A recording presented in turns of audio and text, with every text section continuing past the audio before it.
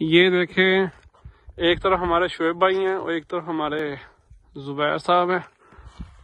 ये हमारे शुएब भाई उस तरफ़ है हमारे जुबैर भाई। और इनका पेचा पेचा लगा हुआ है।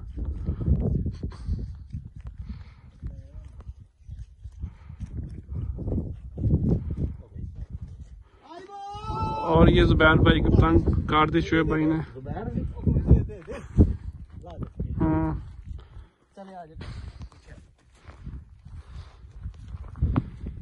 ये सरदार भाई भी साथ खड़े हैं।